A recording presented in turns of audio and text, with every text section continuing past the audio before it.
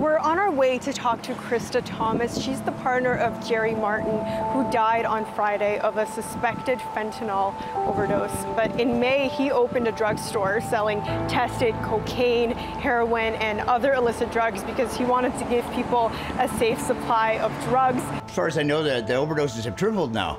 Uh, so without a clean, safe supply, it's just going to get worse. It was illegal to do so, but he knew he could be arrested, and he was arrested just less than 24 hours after he opened the shop.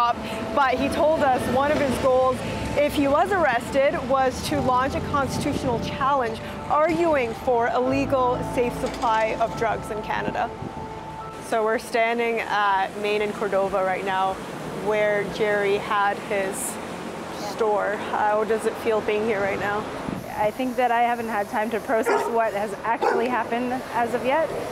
Um, so surreal is kind of the only thing that I can think to say. Martin was found unresponsive in a vehicle last Tuesday. He was taken to hospital and put into a medically induced coma. Days passed, CT scans showed he had significant brain damage, believed to be caused by a drug overdose.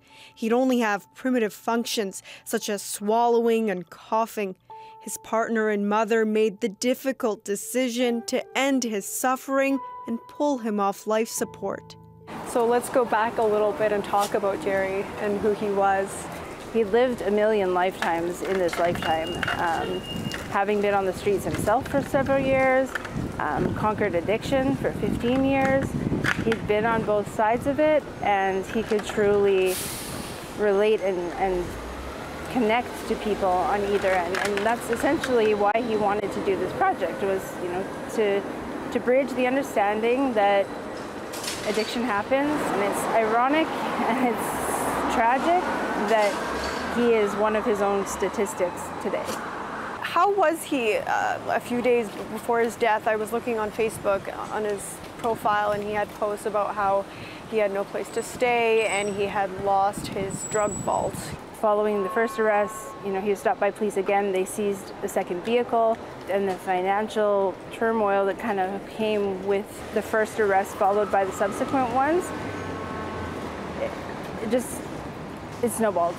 For the amount of times that man has been knocked down in his lifetime, he always got back up, and I think I just thought he'd get back up. We know that he wouldn't be carrying a supply that could ever be tainted or cross contaminate with other supplies, but he, the fentanyl was found in his system, and so uh, it begs the question whether he had his own supply that day or made an impulsive decision. Martin's partner will now lead the fight to launch a constitutional challenge.